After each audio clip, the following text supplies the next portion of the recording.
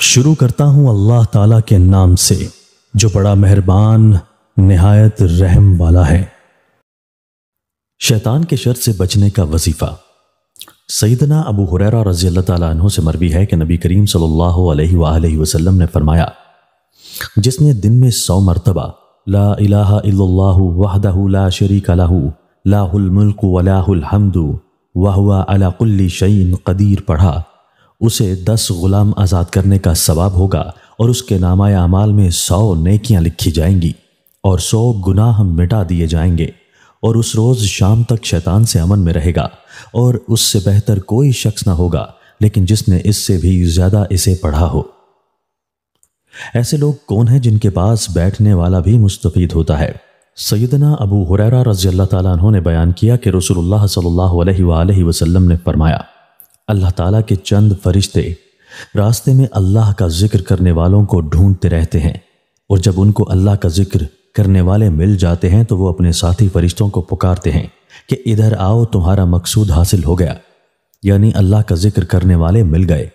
फिर फरमाया, ये फरिश्ते उन लोगों को अपने परों से ढांक लेते हैं और आसमान दुनिया तक तह बतह पहुँच जाते हैं। अल्लाह ताला उनसे दरियाफ्त करता है, हालाँकि वो उनसे ज़्यादा वाकिफ होता है।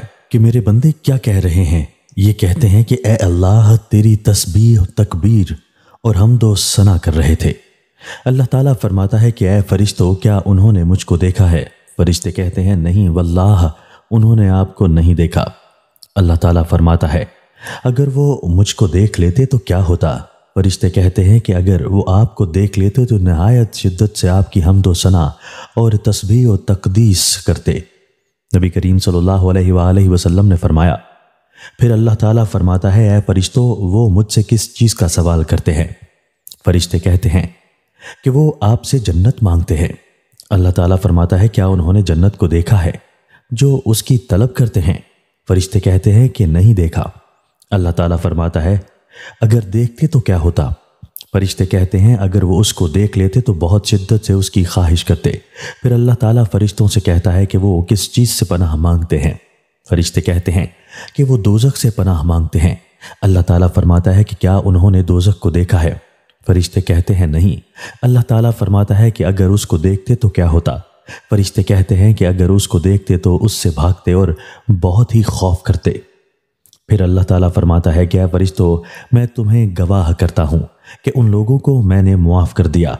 फिर उन फरिश्तों में से एक फरिश्ता कहता है कि उन ज़िक्र करने वालों में एक आदमी ज़िक्र करने वालों में से नहीं था, बल्कि किसी ज़रूरत से वहाँ चला गया था।